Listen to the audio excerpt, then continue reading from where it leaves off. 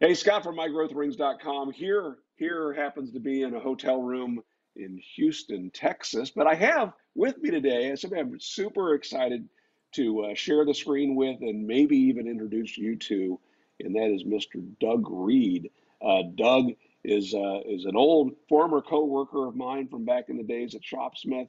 And uh, if you if you know him, you probably know him from his channel here on YouTube. And uh, not a week goes by that somebody doesn't say, "Hey, what's Doug up to?" or "Have you heard what's what's going on with Doug?" And uh, I, I recently answered that question yet again and thought, I'm going to reach out to Doug. And so uh, here we are, Doug. Thank you for coming on here and spending some time with me and uh, and us. And uh, let me just throw it to you and, and ask, can you tell us a little about who is Doug Reid? Well, thank, thanks for that, Scott, and I appreciate the, the opportunity to come and talk to you like this. Uh, you know, usually when someone asks a question like that, I can talk to you for 12 hours about, you know, who I am. But real briefly, uh, I got involved with Shopsmith about 1987. I was the uh, time of my life when I needed to make some career changes, and I always knew I liked woodworking. And I had never heard of Shopsmith, but uh, somewhere along the line, I, I uh, discovered this company, went and saw a demonstration at the local store in Northern California.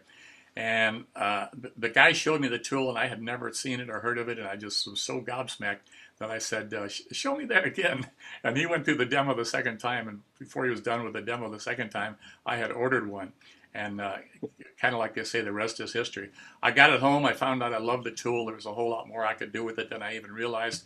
And I had some dealings with the company, and I liked them too. So I thought this would be a great place for me to go to work if possible. So I contacted them, and it took me about a year to get on board with them. Uh, but I did, and I loved it. I was a demonstrator, traveled all over the U.S., and my wife became a demonstrator as well, and she traveled uh, with me too. So we, we had a great time with that. Uh, speaking of family, my, my kids, uh, both my daughters and my son, are woodworkers. They grew up with these tools, and that's that's kind of a fun thing. I have a lot of photographs from those days as well. But uh, anyway, we did that, and then uh, I became a traveling academy guy, teaching uh, Shopsmith woodworkers all over the U.S. Uh, ended up running that program for them. Um, then I got away from Shopsmith for a while, uh, mostly because I went into business with my brother in the cabinet refinishing and cabinet making business here in Louisville, Kentucky. Also, not not Northern California. No, not Northern California. No, I moved to, moved to uh, back to the Midwest to be near family, and anyway, we did that for a few years, but the, the timing was terrible because it was about 2006 when the economy was going, and no one wanted to spend any money on a kitchen remodel. So we got out of that after a couple of years. And uh, I happened to be talking to Bob Folkerth back there at Shopsmith. I said, you know, any uh, any interest in having me do some some things for you? And he said, well, it's funny you would say that. so he uh, he asked me to do some videos for him. That worked out real well. And from there, I started doing videos, setting up my own YouTube channel, and that's been really fun and, and uh, productive for me. And then they asked me to do these webinars where uh, I have Shopsmith owners come in and uh, kind of kind of show them the tools. And to me, it's like I, I, get to do the same thing I used to do in the demonstration and in the classes, but now I get to stay at home, which is really nice. I don't have to be on the road 250 nights a year, which is what I used You don't have to load a Mark V in and out of the, the Shopsmith van. Nice. Right. Yeah. So, yeah, that's worked out fine. I've had a great time with it. And, uh, yeah, that kind of takes me up to where I am today. Fantastic. I guess that was the one the question because people ask because they, they think well the last time you put out a video on YouTube was some time ago. Yeah. You know what what what has happened, and I always tell them no. He's actively demonstrating, uh, typically through Zoom webinars, and I, I usually direct them on your channel, uh, the info page. You have, I think it's your email address or some contact information for folks who are interested I, I know that you know the the scope of what you're you're doing. You're not the customer service department for Shopsmith, then you're not the Q and A guy, but uh, you're certainly there to help people that are interested in buying tools, right? Absolutely, and and I don't mind taking a question from from anybody. I, have always enjoyed Shopsmith woodworkers, but yeah, my primary function is to uh, to get people involved in in the Shopsmith system, uh, and that's you know that's a that's a pretty good thing to be able to do. Uh, I've met an awful lot of woodworkers over the years, and 99% uh, of them were just the nicest people in the world. So uh, I like that exchange. Yeah, I had that other guy in my class. that other that one percent. yeah, probably true. so uh, no, but uh, you you you mentioned 87. That's when you bought your your Shopsmith tools. I started with the company in 1987, coincidentally. Had you been a woodworker up until that point, or were you just thinking about getting into woodworking at all at that stage? Uh, I was not a professional. You know, like a lot of guys, I took woodworking in junior high and high school and really fell in love with it. And after that, it was just a just a kind of a hobby on and off over the years. But I ran into that situation, like so many of us have, where uh, I was living in an apartment and didn't just didn't have any room for a shop. So that shopsmith really solved that problem for me. My uh, my first shop after I got the Mark V was I think it was a maybe a nine by seven patio outdoors on the second floor, and I had my whole shop out there, and I was able to do a whole lot of woodworking there, which uh, nice. I, I, couldn't do today. And fortunately, today I'm, I'm really fortunate. I've got a nice about 700 square feet, I guess, of shop here, um, but I, I, still have my shopsmith and still enjoy it. That's fantastic. Yeah, I, I had a shop in a third bedroom of a second story apartment for a while. Shopsmith, Shopsmith Mark V, and a dust collector in that space, and I used it. yeah, you know how that is, then. Yes, I do. All right. So, um, you know, part of the the reason why I wanted to connect with you was I put out a video recently in response to um, a comment that Roy Underhill made on um, the Steve Ramsey, I think that's the woodworking show. I think he calls it. It's a, a podcast, and he mentioned a old infomercial that Shopsmith had, where, as he said it, the skill is in the tool. Um, not not exactly word for word what it said, but I, I mentioned that I kind of bristled when I was an academy instructor because part of my living, well, all of my living, was coming from helping people learn how to utilize the equipment that they had purchased. In some cases, they were considering purchasing and they came to take a class first. And um, it's, it's been interesting the response to that. I think most people recognize that you know, the, the tools uh, part of the equation, but the tool can't do it without us, and we can't do it without a, a degree of knowledge. And, and so I thought it might be fun to ask you, if, first off, did you see that, or are you familiar with that infomercial I'm talking about? And what do you think about statements like that, where you know the, the skill is in the tool or the expertise is in the tool? Yeah, I watched your uh, I watched your recent presentation of that. I, I don't think I've seen that. But I probably have seen it before. I've seen all those old videos, but yeah, that was one of the things we were kind of taught to say. Uh, you know, we did a a CAN presentation uh, in the demos, and that was one of the things we had to overcome was people's fear about am I going to be able to use it and I'm going to be able to you know make some nice things out of it. So that idea that the expertise was in the in the tool was something uh, they promoted back then. And while there, you know, there's certainly an awful lot of truth to what you just said. Uh, I, I personally think that it's a combination. You have to have the person and the tool. I've met guys that could build fine furniture with a vice grip and a rock, you know, just. and then I've met guys that has every tool you can possibly imagine and, and couldn't make a, a, square box to save their life. It's just a combination of the two, I guess. But uh, I was telling you a moment ago on the sign that I came across in uh, fine woodworking a few years ago and I'll read it to you. It says, kind of pertains to what we're talking about.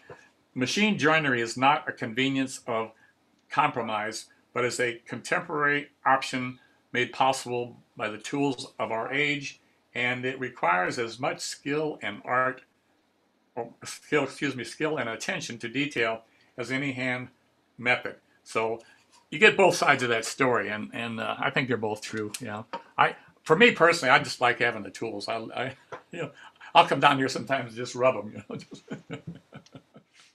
I relate to that. I know exactly what you're saying. So I guess maybe all right. So that that leads me to a question. What are your thoughts? And I know you kind of have a dog in the fight here. So let's we'll, we'll temper sure. temper this. What are your thoughts on Shopsmith tools? Wow, uh, that yeah, that's an interesting one. Um, I think the Shopsmith tools, you know, was, was a brilliant invention. Um, I had the opportunity to meet one of the original founders of the company, a guy named uh, Bob Chambers, and uh, he and his brother, and the actually I guess the original inventor, a guy named Hans Goldschmidt, that started the company. And when you think about what they accomplished back then at the end of World War II, and the guys are coming back from the war, they were buying homes in the GI Bill, and most of those homes were little little houses with little uh, garages. So this tool fit in perfectly. and uh, it, it worked extremely well. I mean, they were they were very very successful with it. And you know, another kind of comment on the quality of the tools, and I'm sure you'll see this as well. Uh, I still get guys today that have tools, Shopsmith tools that are 50, 60 years old. And, you know, I got it from my dad and he got it from his dad and it's still running like a champ. So I think they built really quality tools. Uh, you know, there's always going to be pros and cons to anything. And one of the things that I, I get concerned about with all of that is guys start using a tool without having any idea what they're doing. And Shopsmith provides really good manuals and there's a ton of videos out there. But uh, a guy jumps in and, and tries to use the tool without you know, even know how to set it up or make a cut, uh, then he's going to be online complaining about the tool's no good. So, you know, that happens as well. But I think the tools are uh, the, the quality of the tool, the accuracy of the tool. Um, if you set it up and align it properly and keep it in good shape, is as good as anything you're going to find out there. And they are seem to be pretty much bulletproof. They just last and last and last. So, uh, and the, the other complaint you'll hear, a question, I guess, is people say, well, it takes too long to do changeovers when I was doing demonstrations, we always got the knucklehead that was walking by saying, "Ah, oh, it's a great tool, but it takes you forever to do a changeover." Well, that kind of will, will put a cold water on your demonstration. Yeah. So I thought I've got to come up with a way to address that. So, so what I did, I said, "Excuse me, sir, come over here a minute." I said, "How long do you think it takes to change from any one tool to the other?" And he'd say, "Oh." 10, 15 minutes probably. I said, okay. I said, do you have a watch on? Yeah, I got a watch. Okay. I said, yeah. Name a tool, start with that, and then tell me when to go and change it from any one tool to the other tool 60 seconds time. And they were gobsmacked, of course, because nobody just you know knew that you could do that. But they were so beautifully engineered for that reason that uh, yeah, that changeover I just don't think is an issue at all. Yep, I've always thought of that as uh, quality time with my tools. I mean, I get I get to convert my table saw to a drill press. You know, let, let's see you do that, Mr. Sears Craftsman table saw owner. You know, although Delta, if you recall, had the Delta shop where you bolted you bolted the drill press to the edge of your table saw. You took the blade off, put a pulley in its place, and then you ran a belt up from the, the slot in the table up and over some more pulleys to your drill press. So that was their response to the shopsmith. You talk, talk about changeover.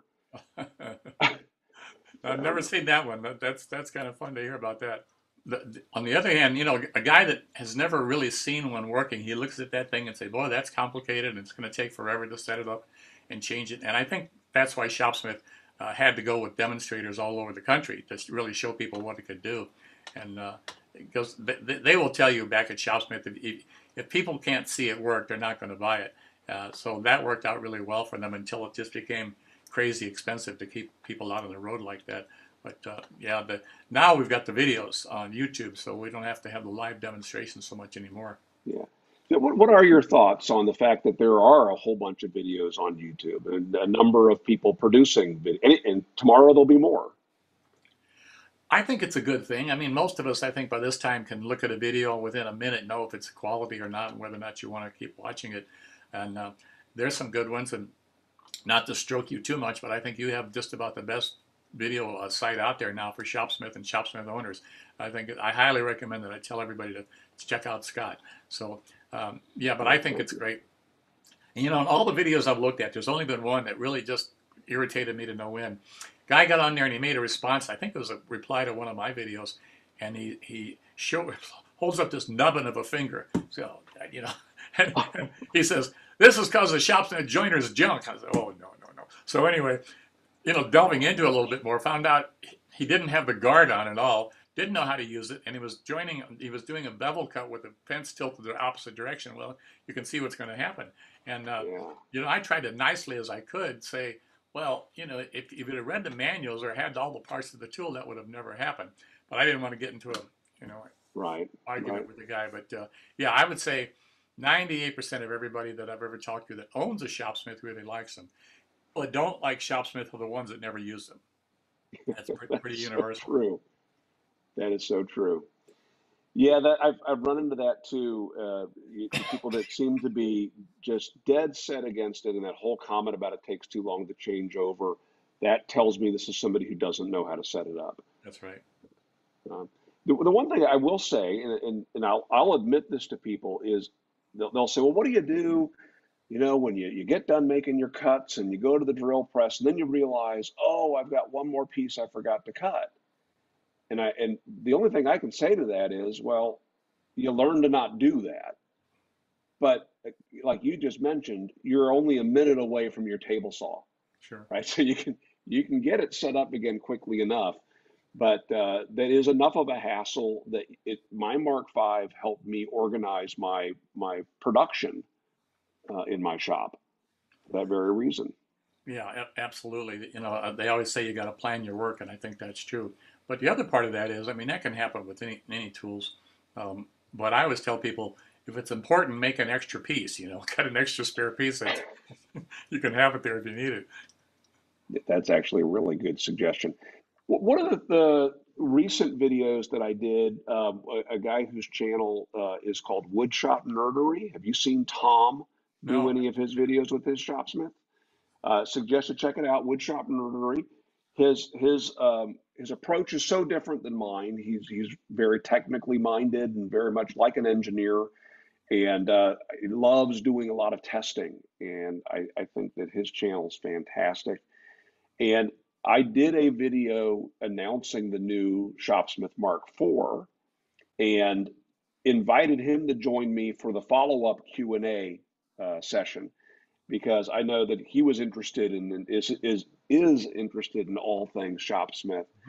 And I'm I'm curious what your thoughts are. Did did you know about that machine and what do you think the the where does it fit? Yeah, um, when I first heard of it, I thought, well, this was kind of going backwards. You know, why are they why are they going? Because they've always gone bigger and better all the time. But the Mark IV is is a little bit smaller. Uh, but that sort of makes sense for people that has a you know real space issue. Um, the concept is different too, though. Rather than including all the different parts and pieces for the different functions, uh, they kind of start you off with a you know a bare unit, I guess you could say, and then you can add whatever functions that you want to that. And I see an advantage there is that you you know if you don't ever want to do any turning, you don't have to invest in all the turning stuff. So uh, that that sort of makes sense. You know, I was thinking about that before I met with you today because uh, you know, how can you kind of explain that to people? Well, to me, it's like a lawn tractor. You know, or, uh, I buy the basic lawn tractor, which is a motor and a frame and the wheels, but there's all kinds of stuff I can add to that depending upon how I want, you know, what I want to do with it. And uh, that, that's kind of what's going on with the Mark IV. So uh, yeah, I like the idea. Um, and I'd be curious to see how it does in sales. I really don't know. Yeah. Are you going to get one in your shop to demo? Um, I'm going to ask Shopsmith to send me one. Uh, yeah, to, you know, just like you said, I I need to play with this so I can be you know a little bit more informed on it, and then I'll probably start doing some uh, videos on it, yeah, or, or some webinars Because. I'm curious about because its footprint is is shorter. I'm curious where does that put the headstock in the drill press position? But I know when I hold my when I move my Mark V up into the drill press, the headstock's not all the way at the top. It's right. some distance down from the top, so you can see how that might work. Um, the, you know, Shopsmith has made all kinds of tools, and not every one of those tools is still in production. I- Is there a a out of production Shopsmith tool that you wish were still available for folks? Hmm.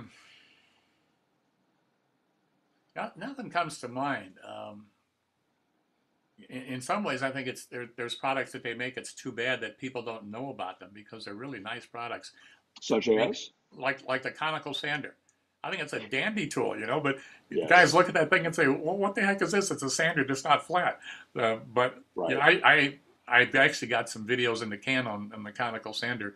But Good. I I would like to at some point do specific videos on each of the different accessories just to show them that you know there's so many things about the shopsmith that you're not going to know or understand unless you really see it demonstrated. So yeah, uh, that's something interesting. I have to think about that one. If there's something that uh, I wish they still had in production, um, maybe the radial arm saw. I, I that was kind of Oh, the Sawsmith. yeah, well, yeah, and then the Sawsmith 2000 too.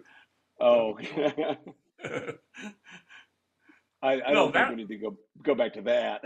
no, no. You know, I actually think we'd have son a, uh, sold a ton of those, but we couldn't travel with them. They were just too darn big to move in and out of the van. So, uh, but yeah, the, the the I had one of the radial arm saws for a while, and I gave it away, and I'm kind of sorry that I did.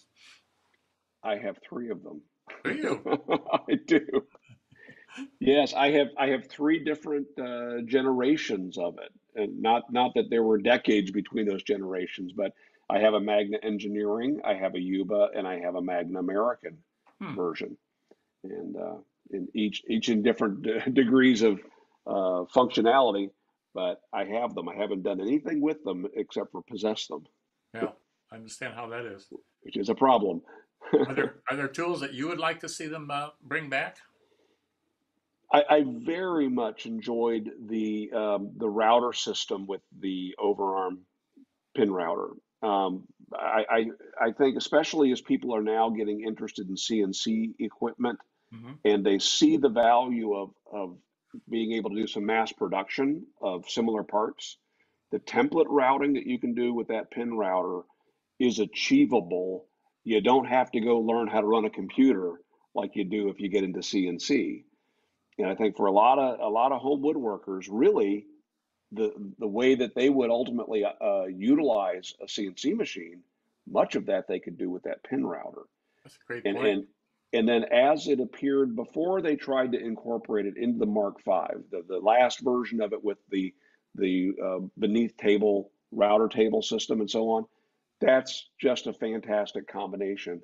The one thing that I added to mine that I, I thought would have been a great stock item was I added a, a big stop collar to uh, the, the base of the column, and I gave myself uh, replaced the nut and bolt that that connected the yoke at the back with a um, a lever, and hmm so I could quickly release it and swing the arm out of the way, but it didn't drop, Okay. and then bring it back into position very quickly and lock it, and uh, that really helped me utilize both of those functions, both overhead and beneath the table. Hmm. Um, it's- people have asked me, what do you think about mounting a router table to your Mark V? And yes, it can be done. And if your if your shop space is small enough, maybe you want to do that. But I, for um, it's not just because of the Mark V. I had a Powermatic table saw that had a router table built into the extension, and one tool is always in the way of the other tool Hmm. your your the the router table or the router bit being exposed is always an issue when you go to use the saw and vice versa and so i happen to like having a router table as a standalone tool but the advantage of it on the mark v is it's it's perfect at whatever height you're comfortable right you can adjust Sure. the height just so Sure. and because it is over on the extension side it's typically not in the way of the other functions that you're performing. I don't know. What are your thoughts of the Shopsmith mounted router table?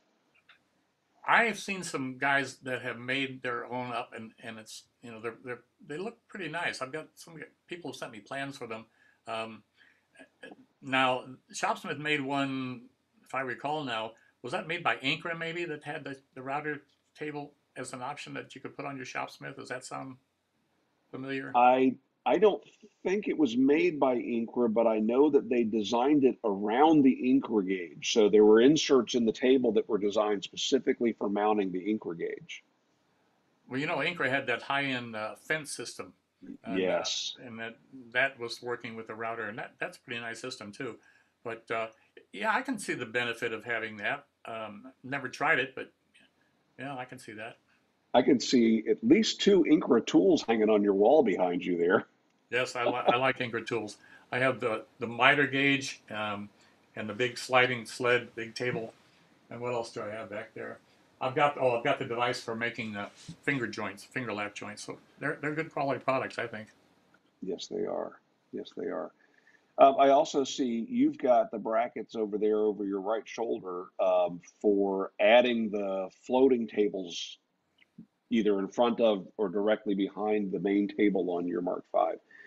Do you like that? Is that if you wh- when would you use that versus any other configuration you might use with the tables? Uh, yeah, you know, I, I kind of like to have everything that they make, so I got those, and they and they work fine. Um, you know, primarily for doing long rip cuts, it seems to me is their their real benefit. But I can set up the tables of the Mark Seven, the four piece table system, and do the same thing. So, yeah, I keep forgetting there's a seven. I keep thinking Mark five. I stopped at five. and just looking at my wall here, let's see, I've got the Shaper fence. I've got the Miter Pro, which is kind of a nice tool.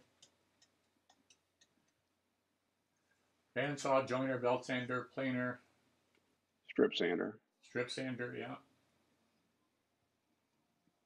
Is the is the Pro Planer in production right now? Uh, no, they, they've they're offering the uh, the Mark mounted one again, Okay. and apparently with the Mark Seven and the Power Pro headstock, it performs a lot better than it did before. Uh, You got more power, but also the way that you feed it is, is more intuitive instead of feeding it from the backside of the machine. But when they first came out with that, the Power Pro, they, they did a test on that and they put that planer on there, and they jointed a bunch of uh, a bunch of oak. I think it was maybe 10 inch wide oak, and they ran a full mile of oak through that thing and didn't hiccup at all. So it was it does a nice job. I mean, that's a very good point. Um, when I saw that they had the, the Mark mounted planer, I thought, you I, I never did care for that. I like the Pro planer, but you're right with the Power Pro headstock. That that kind of answers most of the issues.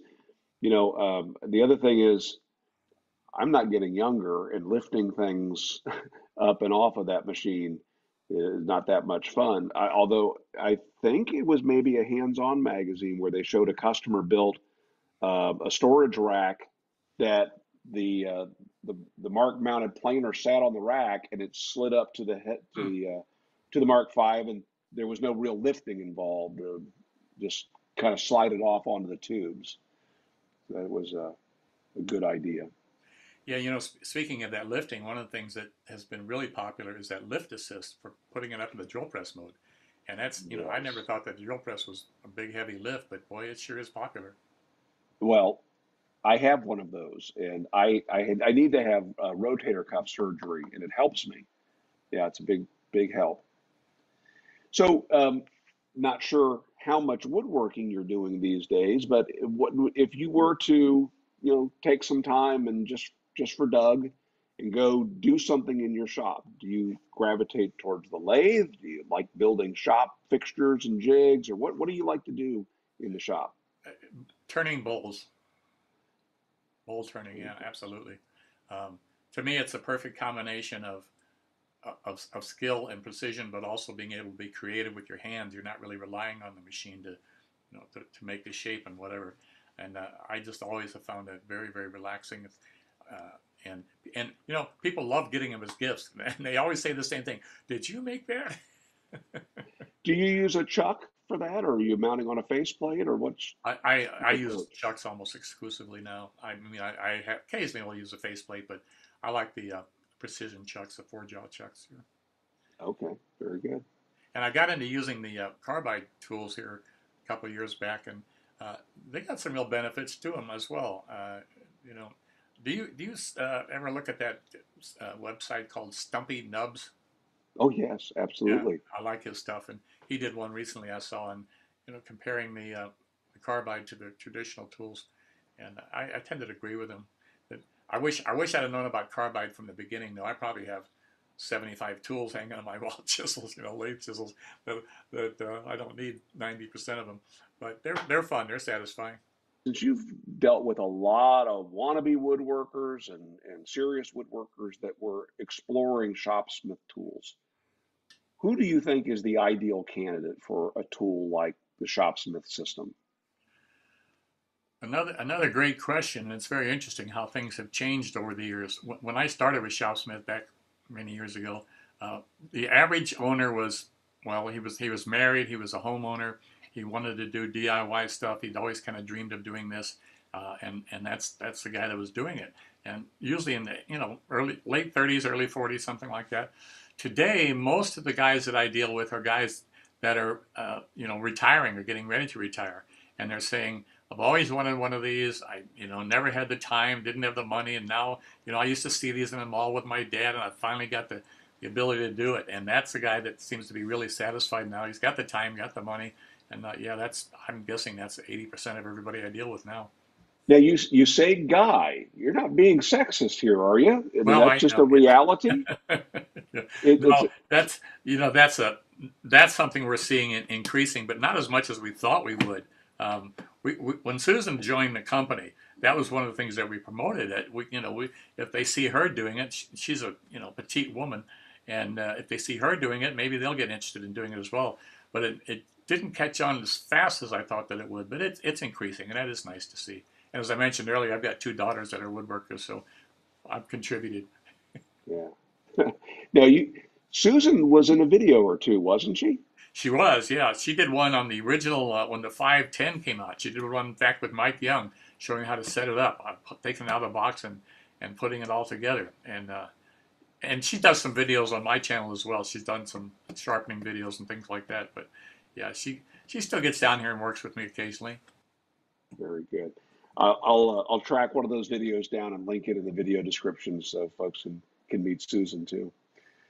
Well, uh, thank you very much for spending some time with me, Doug. I really appreciate it. I'm sure my subscribers are going to appreciate meeting you. Um, I will link to your channel.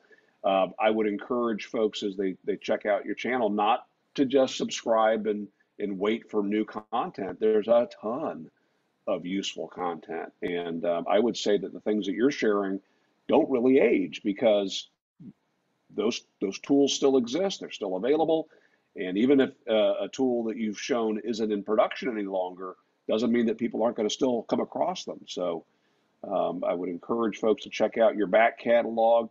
And it sounds like you say you, there's a promise of some new content. So that's exciting. Yeah, I'm looking, look, really looking forward to it. You know, as you as you do these things, you realize you can get better at it. That's both the woodworking, but also the video, making the videos, and then editing and getting them out there. Uh, and I, some of those I go back and look at, and I really cringe. So I redo them. so yeah, I'll I'll uh, I'll try to keep it posted when I do that, Scott. Fantastic. I look forward to it.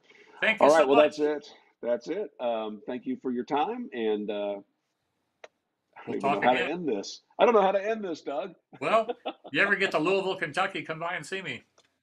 Very, very good. I, I will do that for sure. Okay. All right. Take it a care. great day. Bye now. Bye bye.